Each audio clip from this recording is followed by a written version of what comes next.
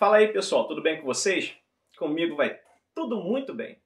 Já faz um tempão que eu não gravo nada, que eu não envio nenhum vídeo para o YouTube, mas é, há momentos que a gente tem que fazer uma pausa para poder fazer uma limpeza, né?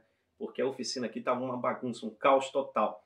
Poeira para todo lado, e eu estava adoecendo, então eu resolvi dar uma pausa e limpar tudo, me dedicar aqui para que a gente tenha um ambiente mais saudável para trabalhar, né? Bom, é, hoje eu tenho uma novidadezinha aqui, né? Que é esse rádio da FlashSky FS I6S, que já não é nem tanta novidade assim, né? Porque o Fabiano Regra acho que já fez um vídeo a, a esse respeito, mas como o meu chegou agora, então a gente vai falar um pouquinho a respeito dele, fazer uma comparação aqui com outros rádios. E de maneira que daqui para frente eu devo fazer alguns testes com esse rádio e também uh, ensinar o, vários tutoriais de configuração para os mais diversos tipos de placas controladoras. Isso gradativamente, à medida que o tempo for passando, eu vou soltando alguns vídeos. Valeu, gente? Então vamos lá. Então, já tem bastante tempo que eu estou com esse rádio guardado, mas impossibilitado completamente de fazer uma avaliação por conta da situação da minha oficina sobre a qual eu já falei. Mas ele está aí, né? Então, já tive olhando ele por dentro um pouquinho, mas nem sequer é, removi ele de dentro da caixa. Então vamos abri-lo agora, dar uma olhadinha.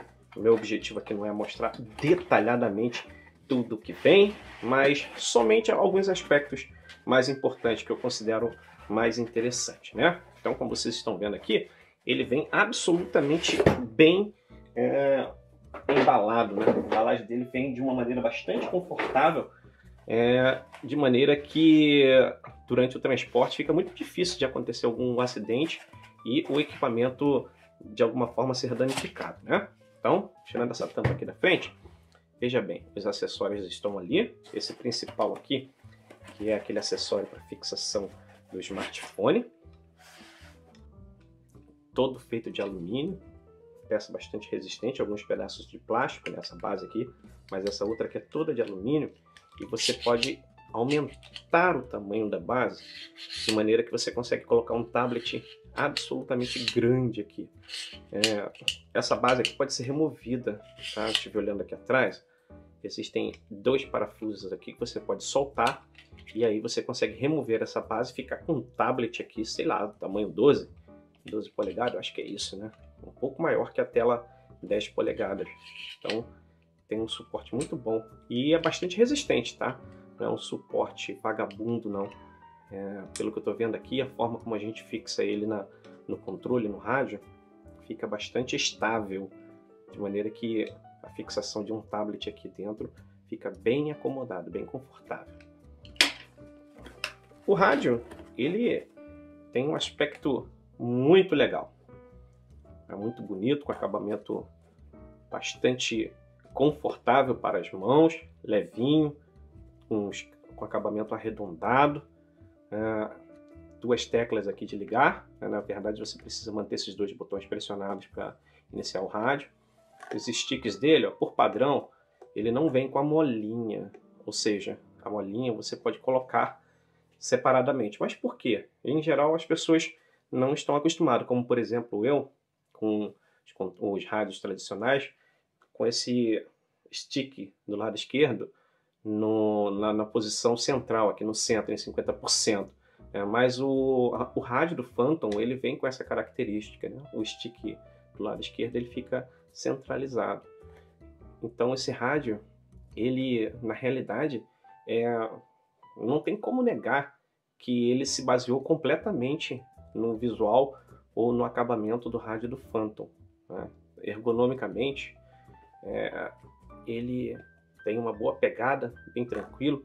E aqui em cima você tem aquele dial, né? você puxa, ele volta, não, não, ele não, não, permanece na posição não. É, e do outro lado a mesma coisa, você tem outro dial. E aqui embaixo você tem dois botões através dos quais você pode acionar funções. Muito parecido com o rádio do Phantom. Né? Agora, o que estraga, na minha opinião, nesse rádio aqui, é o fato dele vir com isso. Por que não uma bateria ali dentro? Por que colocar pilhas? Isso aqui é um atraso de vida, porque a pilha ela é desconfortável, você tem que ficar comprando toda a vida, descarregando, a menos que você use pilhas de é, níquel metal hidreto, ou níquel cadmio, o que eu não gosto particularmente. Aquelas pilhas são muito ruins.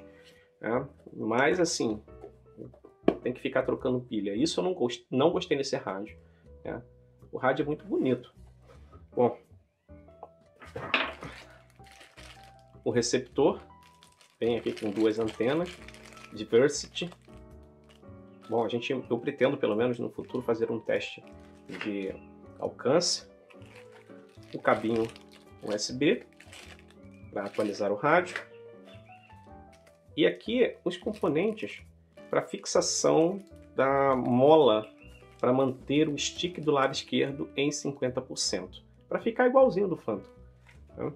Isso aí depois a gente pode ver como faz para colocar um CD e um manual ah, com as instruções de como desmontar o rádio, fixar aquela molinha para garantir que o stick fique em 50%. Nada muito sofisticado em inglês e chinês. Ok? Então é isso. É, esse rádio, o peso dele, vamos ver aqui.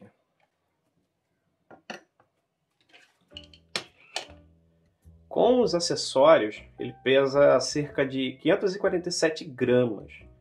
A título de comparação, eu tenho aqui o rádio do Phantom 3. Rádio do Phantom 3 ele pesa 800 gramas, 848. Né? Então, há uma grande diferença, né? o rádio é bem levinho.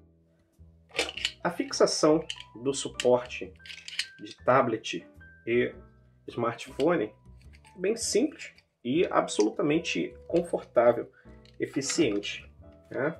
Então, remove-se esse parafuso aqui, que é o parafuso que vem para fixação da base central. Né? Fixa aqui em cima e aqui embaixo para dar a fixação final do rádio.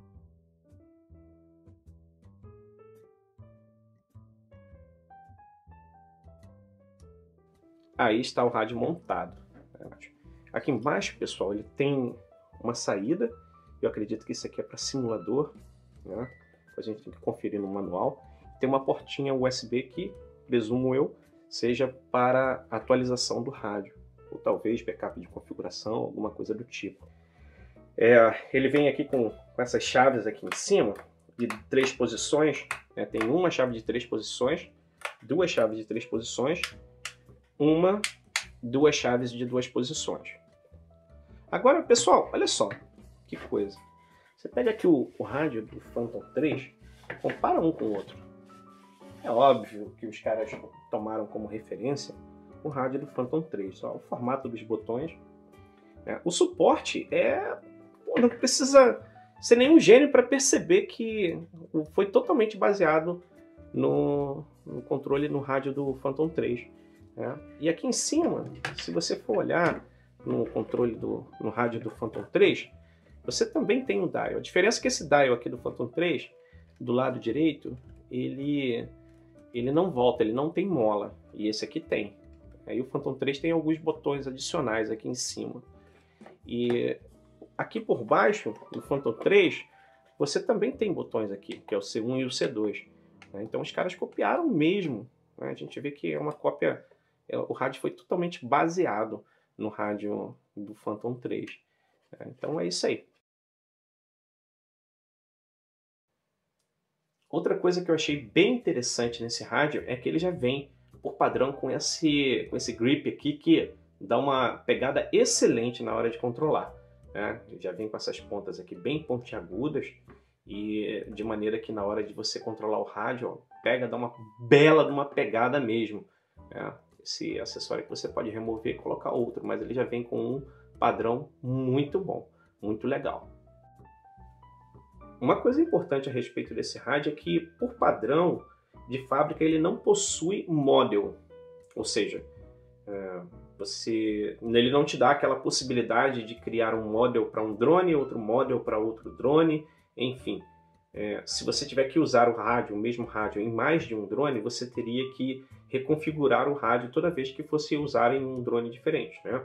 Então a primeira coisa que você deve fazer é o upgrade de firmware a fim de ter essa função disponível. Né? Então é só ir no link que eu vou colocar aí na descrição. É, você pode baixar esse firmware e fazer a atualização do rádio e a opção do model estará disponível para você logo após a atualização. É, como ele tem essa entrada USB aqui, tudo é muito fácil, né? a atualização dele é bem simples. Eu acredito que essa porta USB vai abrir a janela para uma série de firmware é, especiais customizados para esse cara. Né? A comunidade costuma ser muito ativa e muito provavelmente não vai demorar muito, a gente vai ter outras opções de firmware para esse rádio, de maneira que esse rádio pode sim no futuro se tornar uma excelente opção. Se não, já, se já não for uma ótima opção, né? porque o rádio é bem interessante.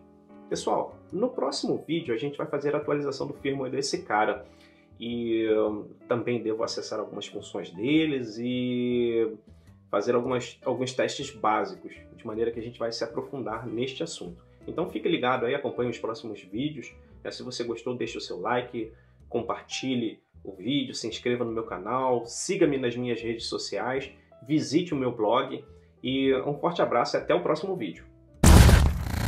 Oi pessoal, eu sou a Sally Cute, também tenho um canal no YouTube e estou passando aqui para lembrar uma coisa muito importante. Deixe seu like se você gostou desse vídeo e se você não gostou, Deixe seu like também, porque vai ajudar bastante. Compartilhe com seus amigos que gostam de drones, porque eu tenho certeza que vai ajudá-los em alguma coisa. E inscreva-se no canal se você não é inscrito, principalmente. Uh, e temos um blog que tá bem aqui na telinha e a página do Facebook. O blog vai ter vários conteúdos legais e mais explicadinhos para você. E a página do Facebook vai estar tá sempre postando coisas quando tiver vídeo no canal, quando tiver conteúdos novos no blog. Então vai lá, dá uma passadinha lá, curte a nossa página e visite o nosso blog. Vou estar esperando o seu retorno aqui nesse canal, hein? Um beijo, até a próxima!